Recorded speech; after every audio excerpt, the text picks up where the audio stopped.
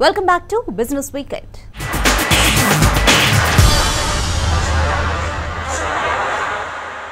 ఇక ఈ వారం స్టాక్ మార్కెట్లపై విశ్లేషణ అలాగే ఒడిదుడుకుల మార్కెట్లో ఎలాంటి స్ట్రాటజీని అవలంబించాలి? మీడియం టర్మ్లో ఏ ఏ సెక్టార్స్లో ర్యాలీ ఉండొచ్చు అనే అంశంపై wealth mills securities equity strategist Kranthi Bathini విశ్లేషణను ఇప్పుడు చూద్దాం. శుక్రవారం ఆర్బీఐ ప్రకటించినటువంటి మానిటరీ పాలసీ కమిటీ మీటింగ్ మరియు పాలసీ మెజర్స్ కనుక మనం చూసినట్లయితే complete RBI status quo maintain చేయడం జరిగింది. ఏదైతే పాలసీ మెజర్స్ మరియు అనేక రకాలైనటువంటి ఇండికేటర్స్ ఉన్నాయో అంతేకాకుండా ఆర్బీఐ ప్రో గ్రోత్ ఓరియంటెడ్గా కావాలంటే గ్రోత్కి సపోర్ట్ చేస్తూ ఇన్ఫ్లేషన్ని కంట్రోల్ చేస్తూ ఎక్సెస్ లిక్విడిటీ కనుక సిస్టంలో కనుక ఉంటే ఆ లిక్విడిటీని మళ్ళీ తగ్గించడానికి ఆర్బీఐ ప్రయత్నించే దిశగా ప్రస్తుతం అడుగులు పడుతూ ఉన్నాయి. మనం గ్లోబల్ మార్కెట్లో చూసినట్లయితే ఫెడరల్ రిజర్వ్ ఒక హాకీ స్టేట్మెంట్ అంటే వడ్డీ రేట్లని నియంత్రించడం అంతేకాకుండా లిక్విడిటీని తగ్గించటం వడ్డీ రేట్లు స్లైట్గా పెంచుకుంటూ వెళ్ళే దిశగా ఫెడరల్ రిజర్వ్ యుఎస్ మెజర్స్ తీసుకుంటుంది. దాని యొక్క ప్రభావంతో గ్లోబల్ మార్కెట్స్ అన్ని ప్రస్తుతం ఒక వాలటాలిటీ అనేది నెలకొని ఉంది. ఇండియన్ మార్కెట్స్ చూసినట్లయితే మనకి ఇన్ఫ్లేషన్ కూడా ఒక వరింగ్ ఫ్యాక్టర్గా ఉన్నప్పటికీ క్రూడ్ ఆయిల్ కనుక రానున్న నెక్స్ట్ టూ త్రీ మంత్స్లో కనుక రష్యా యుక్రెయిన్ కాన్ఫ్లిక్ట్స్ కనుక తగ్గుముఖం పట్టినట్లయితే క్రూడ్ ఆయిల్ ధరల్లో కొంచెం కరెక్షన్ రావడానికి అవకాశం ఉంది. అది మన ఇండియన్ మార్కెట్స్కి ఒక పాజిటివ్ ఫ్యాక్టర్ కింద చూడాలి. ఓవరాల్గా మార్కెట్ చూసినట్టయితే ట్రెండ్ అనేది పాజిటివ్ ట్రెండ్లోనే ప్రస్తుతం ఉండటం జరిగింది. అంతేకాకుండా మనం నెక్స్ట్ ఫ్యూ డేస్లోనే రిజల్ట్స్ సీజన్లోకి ఎంటర్ అవుతున్నాం. సో అందువలన రిజల్ట్స్ సీజన్లో మనం చూసినట్లయితే ఒక మిక్స్డ్ రిజల్ట్ సీజన్ రావడానికి అవకాశం ఉంది. మనకి ఐటీ మరియు బ్యాంకింగ్ అండ్ ఫినాన్షియల్ సర్వీసెస్ మరియు ఆయిల్ అండ్ గ్యాస్ సెక్టర్స్ నుంచి positive results nearly double digit results రావడానికి పాజిటివ్ గ్రోత్ రావడానికి అవకాశం ఉంది. మిగిలిన సెక్టర్స్లో ఏదైతే ఇన్ఫ్లేషన్ మరియు ఇన్పుట్ కాస్ట్ ధరలు పెరగడంతో వారి యొక్క మార్జిన్స్ ఏ రకంగా ఉండబోతున్నాయో మనం వేచి చూడాలి. ప్రస్తుతం ఇన్వెస్టర్స్ ఐటీ మరియు బ్యాంకింగ్ అండ్ ఫినాన్షియల్ సర్వీసెస్లో ప్రస్తుత మార్కెట్ కండిషన్స్లో ఎటువంటి డిప్ వచ్చినా ఇన్వెస్టర్స్ లాంగ్ టర్మ్లో అక్యుములేట్ చేసుకోవచ్చు గత వారం హెచ్డిఎఫ్సి మరియు హెచ్డిఎఫ్సి బ్యాంక్ మెర్జర్ అనేది అనౌన్స్ చేయడం జరిగింది. దాని దృష్ట్యా హెచ్డిఎఫ్సి బ్యాంక్ షేర్లు positive టెరిటరీలో nearly ten percent merger announce చేయగానే పెరగడం జరిగింది. ప్రస్తుతం గత లాస్ట్ టూ డేస్ నుంచి చూస్తే మళ్ళీ స్టాక్ ప్రైస్లో కొంచెం కూల్ ఆఫ్ అనేది నెలకొని ఉండటం జరుగుతుంది. ఇన్వెస్టర్స్ లాంగ్ టర్మ్లో ఇన్వెస్ట్ చేసేవాళ్ళు డెఫినెట్గా ఈ కూల్ ఆఫ్ని యూటిలైజ్ చేసుకుంటా ఒక స్టాగర్డ్ మేనర్లో ఇటువంటి స్టాక్స్ని బై చేసినట్లయితే లాంగ్ టర్మ్లో ఈ స్టాక్స్ చాలా స్టేబుల్ స్టాక్స్ మంచి రిటర్న్స్ రావడానికి అవకాశాలు ఎక్కువగా ఉన్నాయి. వచ్చే వారం మార్కెట్స్ ఏ రకంగా ఉండబోతున్నాయో చూసినట్లయితే మార్కెట్లో ప్రస్తుతం క్రూడ్ ఆయిల్ అనేది మెయిన్ ఇంపార్టెంట్ ఫ్యాక్టర్ కింద ఉంది. అంతేకాకుండా గ్లోబల్ క్యూస్ ఏ రకంగా ఉండబోతున్నాయో మార్కెట్ని దిశని వచ్చే వారం నిర్దేశించబోతుంది. మనకి seventeen thousand five hundred Nifty level అనేది మెయింటైన్ చేసినట్లయితే మార్కెట్స్ ఒక పాజిటివ్ టెరిటరీలోనే ఉంటాయి.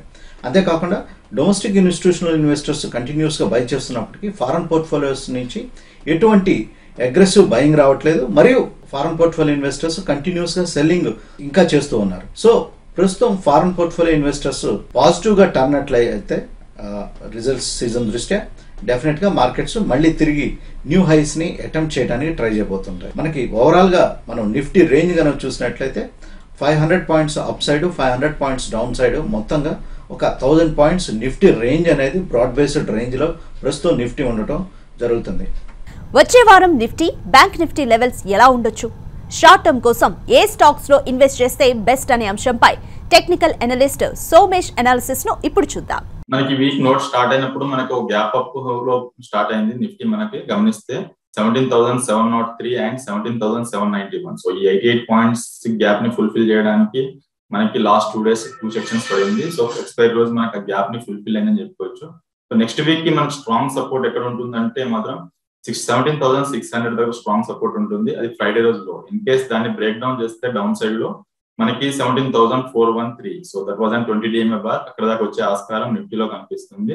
అండ్ హయ్యర్ సైడ్ చూస్తే మాత్రం మనకి seventeen thousand seven eighty seven so two days high so దాన్ని బ్రేక్ ఈవెన్ చేస్తే maybe higher side seventeen thousand nine hundred and eighteen thousand దాకా వచ్చే ఆస్కారం మన నిఫ్టీలో కనిపిస్తుంది. ఎవరైనా లాంగ్ బిల్డప్ చేయాలి అనుకుంటే మాత్రం డెఫినెట్గా వన్ షుడ్ బై అని చెప్తాను. Up to seventeen thousand four hundred level వరకు. సో అక్కడ వరకు బై అండ్ స్ట్రాటజీ మనం నిఫ్టీలో మనం తీసుకుంటే మాత్రం హయ్యర్ సైడ్ రివార్డ్ మనకు అక్కడ నుంచి three hundred four hundred points దొరికే ఆస్కారం మనకి నిఫ్టీలో మనకి క్లియర్గా కనిపిస్తుంది. సో హ్యాస్ పర్ నో మాత్రం బై అండ్ స్ట్రాటజీ అని చెప్తాను. Seventeen thousand four fifty four hundred మనకి ట్వంటీ డిఎంఏ బార్ వాల్యూ కాబట్టి దాని కింద ఒక థర్టీ ఫార్టీ రూపీస్ మనం స్టాప్ లాస్ పెట్టుకుంటే మాత్రం మంచి ఆపర్చునిటీ వచ్చే ఆస్కారం మనకి నిఫ్టీలో కనిపిస్తుంది. So all in all range చూసుకుంటే మాత్రం నెక్స్ట్ వీక్కి Nifty.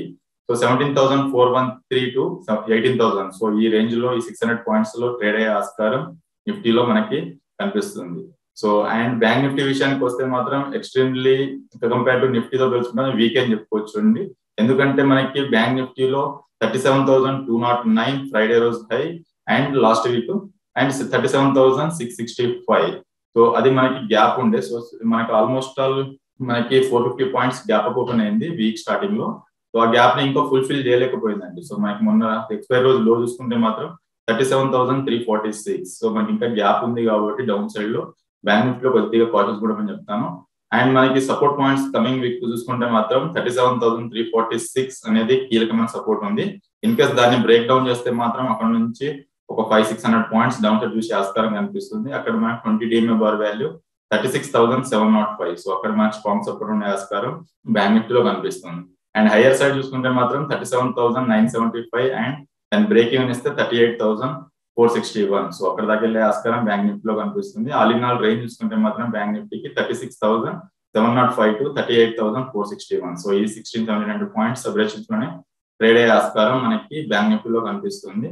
సో మనకి డెఫినెట్గా బ్యాంక్ నిఫ్టీలో కొద్దిగా కాషస్ ఉండమని చెప్తాను. కమింగ్ వీక్లో మనకి త్రీ ట్రేడింగ్ సెక్షన్స్ ఉన్నాయి కాబట్టి నిఫ్టీ బ్యాంక్ నిఫ్టీలో కొద్దిగా కాషస్ ఉంటాము సెక్టార్ వైజ్ స్టాక్ యాక్షన్స్ అనేది డెఫినెట్గా వన్ షుడ్ బై అని చెప్తాను. సో పవర్ సెక్టార్ కొంచెం లుకింగ్ గుడ్ అండి. లైక్ ఇప్పుడు అలానే పోర్ట్స్ లాంటి స్టాక్స్ని వాచ్ చేయమని చెప్తాను నెక్స్ట్ వన్ టూ క్వార్టర్స్ కోసం. అలాంటి స్టాక్స్లో మనకు మంచి ఆపర్చునిటీ కూడా తీసుకోమని అభిప్రాయం. విషయాలు వచ్చే వారం మరిన్ని బిజినెస్ న్యూస్తో మళ్ళీ కలుద్దాం. Keep watching TV five